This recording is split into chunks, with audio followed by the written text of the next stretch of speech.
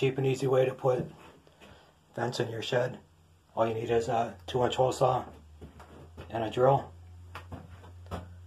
There's two of them there. Two in that corner.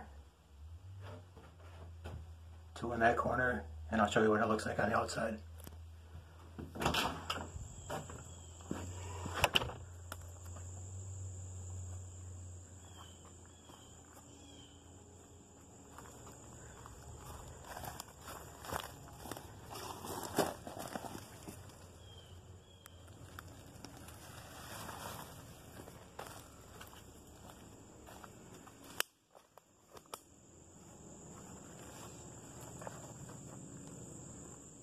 It was really easy to do.